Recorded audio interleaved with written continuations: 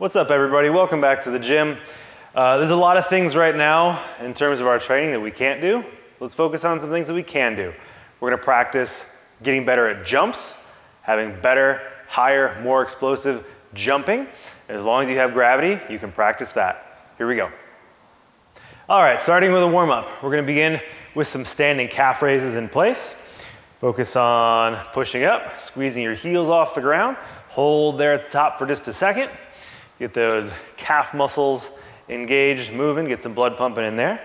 After you do 10 of those, we're gonna turn those into just some standing hops in place. Still focusing on using uh, those lower leg muscles to drive your toes through the ground. Get a little bit of a hop. You'll do 15 of those. Follow that up with 10 squats, just regular squats in place. Maybe a little bit slower than you would normally go. So feet flat on the ground, knees apart, back nice and straight. So after 10 squats, we're gonna follow that up uh, with a little bit of a lunge complex. So standing, step out, nice long step, deep lunge. From here, you're gonna focus on driving your hips down and forward, leaning your upper body back a little bit, and getting a good stretch in your hip flexors. Since we're doing jumps, we wanna focus on hip extension. So it's important that we not let our hip flexors and those being tight impede our hip extension. So we're going to make sure to stretch those out. From there, you're gonna leave your feet where they are, sit back, point your toe up at the ceiling, and then just reach forward. And you'll get a good stretch there through your hamstring. So I'll show you that on the other side, and I'll kind of go real speed.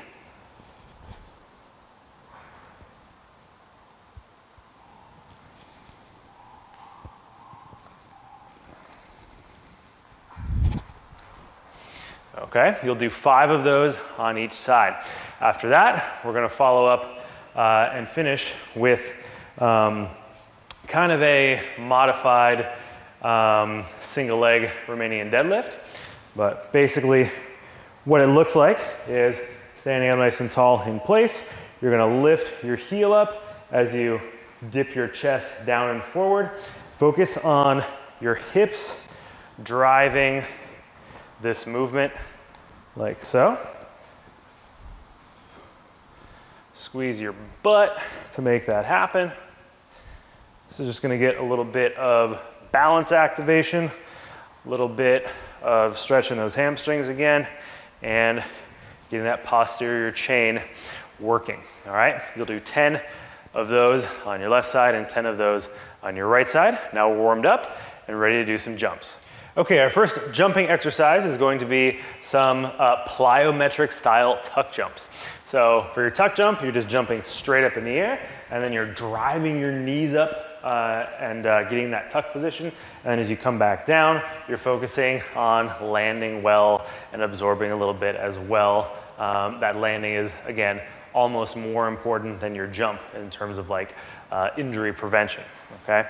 Uh, but we're gonna do these a plyometric style, meaning we're gonna kind of bounce into them and use our muscles stretch and contract reflex uh, as a uh, advantage for height and explosiveness. So here's how this works.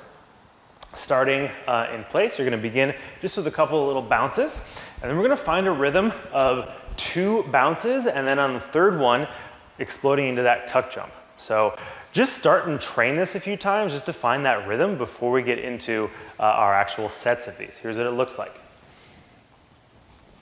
One, two, three.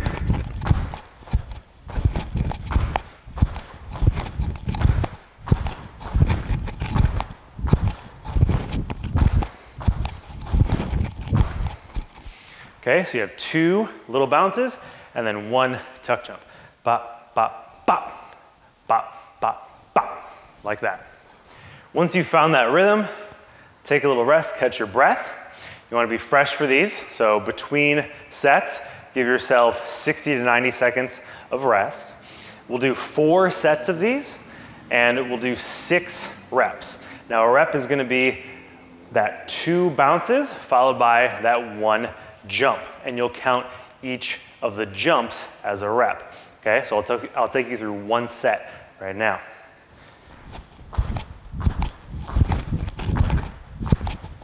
Two, three, four, five, six. Okay, so that is one set of six jumps. After that, 60 to 90 seconds of rest, and you'll do that for four total sets. I'll put all of these numbers uh, at the end of the video so that you can uh, remind yourself and check it out there. Okay, next we're gonna do a variation on those tuck jumps, uh, this time side to side or laterally. So I'm going to use a chair uh, as a way to uh, give myself some sort of frame of reference for jumping over. Uh, you do not have to use anything at all, uh, and certainly this is, this is not a height that's gonna work for everyone. Uh, if you do decide that you wanna use an object to jump over, um, that can be whatever height you feel comfortable with. Uh, I'm just gonna use this for demonstration purposes. So for this, you're going to just be standing in place. We're not doing any hops, jumping as high as you can over this or over whatever your uh, highest imaginary obstacle is, and then landing on the other side, once again, paying close attention to that landing uh, in that you're absorbing that impact. Okay, so a lateral jump over.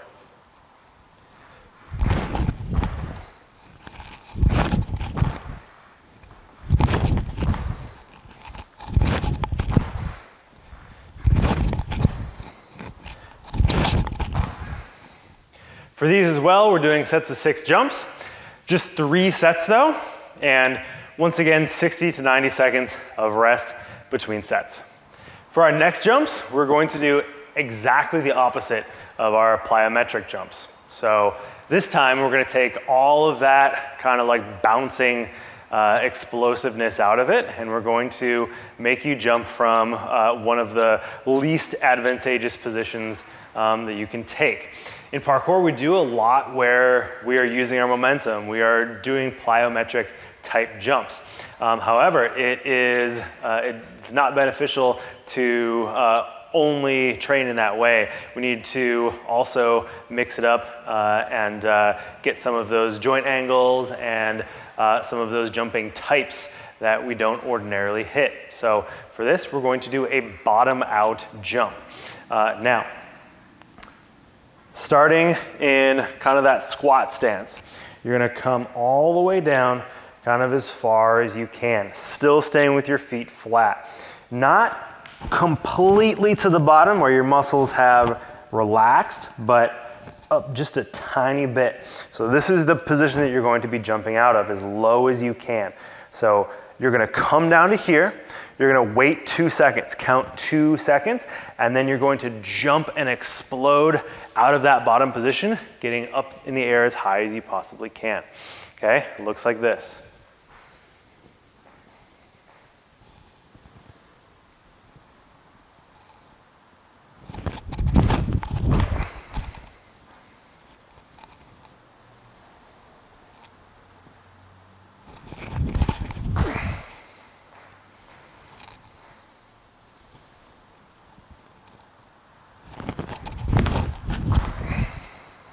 We're doing just four jumps for a set of these, three sets of them. And once again, give yourself uh, enough rest, something around a minute. And we'll finish up this one with an exercise uh, that has a really excellent uh, balance and stability element to it. Uh, so the way this one works is you're going to do a tuck jump. You're going to jump as high as you can up in the air. And when you come down, you're going to switch to just one leg and try to land and balance on just that single leg. This is an awesome exercise for your jumping power as well as your balance and stability.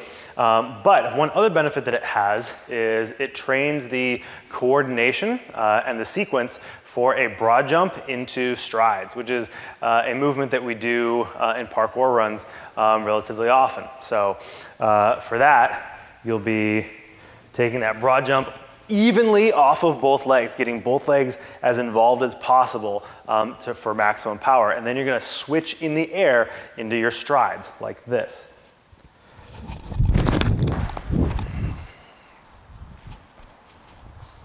So this exercise is really awesome for developing the coordination for that movement.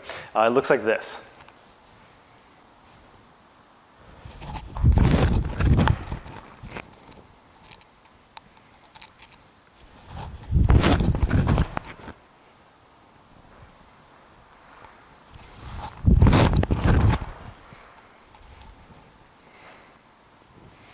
Once you land on that single leg, really fight to keep your foot in place and not hop around, um, but rather try to hold your balance. So we'll do three sets of those uh, with three on your left leg and three on your right leg as one set. So there you go. That is today's workout. Uh, if you're feeling really good after a round of this, rest for five to seven minutes or so. Do the whole thing over again. Um, and then keep in mind that we have all sorts of other workouts and videos as well right now.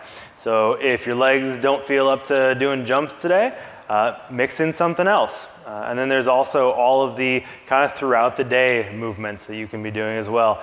Definitely those stretches uh, to combat the effects of sitting all day, really important to be doing all the time. Uh, something like handstands. Make sure you're doing those throughout the day as well in, or in order to improve.